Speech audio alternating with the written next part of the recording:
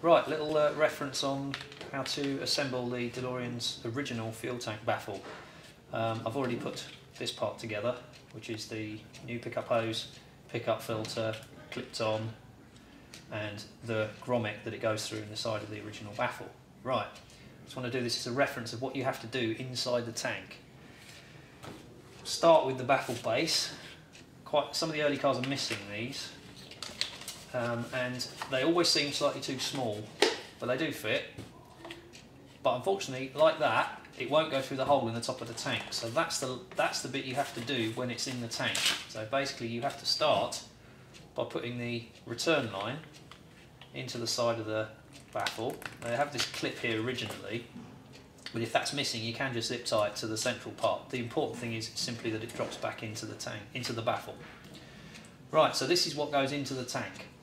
Once it's inside the tank, you then have to, holding the arm out through the hole on the top, you have to slide the base through it and then through a bit of contortion you have to clip it together.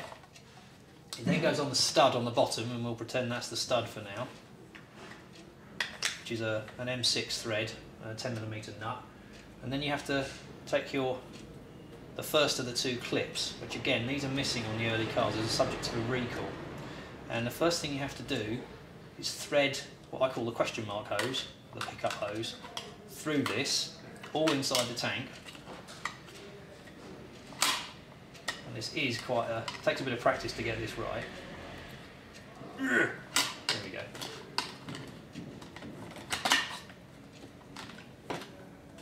And that's how that should go. It would originally have held down the, the pickup filter, but of course this is a replacement, it's not one of the original ones. So the idea is that it goes in the centre like that, but that's a reference on how that goes. This is the second clip. Make sure you put it in the right way up. The little prongs you have to point down. This is much easier to install because you simply start off by putting it over the stud. You can then get your big washer and nut and you can do up the the stud, do that do up the baffle.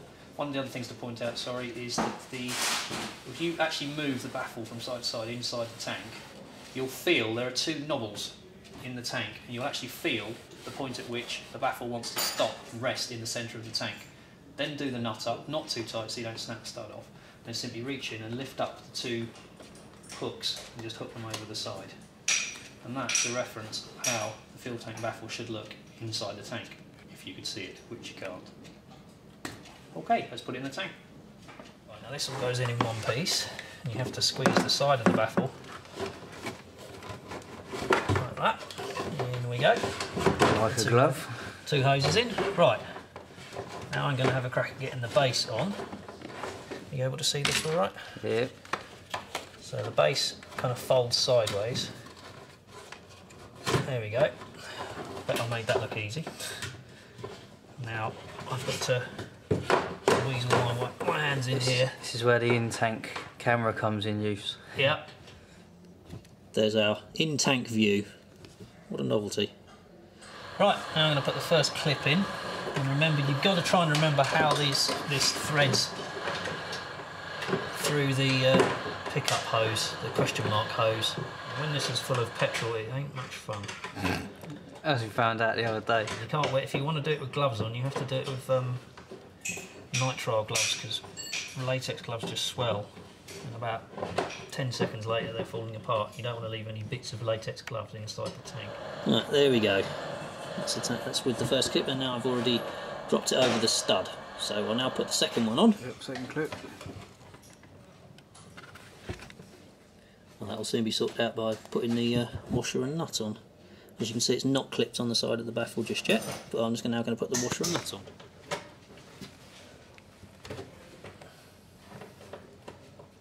There we go.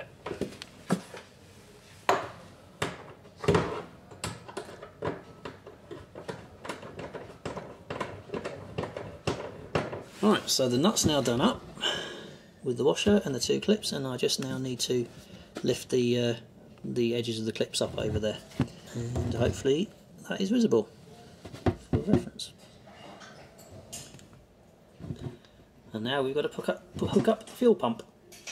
Right, this is how you put the pump in, um, and how to make sure think everything lines up and you don't get any troubles with the uh, with the whining, noisy pump because it's struggling to suck fuel up. Right, first things first. Get your return hard line in. You'll notice that this one, fairly good condition, is actually an original one. Um, anyway, when you fit it, you'll notice that it wants to point out at a certain angle. And given the lid, well, you can add two and two together and work out where the supply line is going to end up going, like that. Now, counterintuitively, they actually point towards the back of the car, and the, the hose actually has to do an S to get down to the supply uh, to the, the hard lines on the chassis. But trust me, this is actually how it's meant to go. Right now, the most important thing is not to twist the pickup hose when it goes on the bottom of the pump. And the way I do this is to take a good old look at this, realise that that return line must go between the pump and the tank sender. So it goes at approximately that angle. You also notice where the connector comes through for the electrics, and you notice where the supply wires for the fuel pump go through when you connect it together. So you get a kind of an idea of where, of geographically, where things have to go. But having that pointing between the fuel tank sender and the pump is pretty key.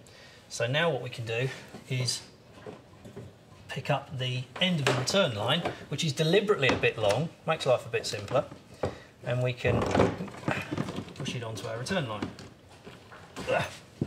I actually have a clip here, clip here, it's not terribly important. I know these wire cutters are complete overkill for this clip, but uh, all that was handy at the time. Right, now with our pump held at roughly the right position, the important thing is to make sure that the pickup hose goes on and stays on straight. Now when you pull the pickup, the pickup hose has that deliberate question mark shape so that when you pull it out it goes straight, which of course then means that it's kind of wants to point in the wrong direction when you're attaching it to the bottom of your pump. So what I do, I always make a note of where the pickup hose is in the tank and it points that way. Our pump's going to rest roughly so-so, so I want the pickup hose to come off like that, which means you have to force it into that position so that you can do it up. I need my hose clip, and there we go.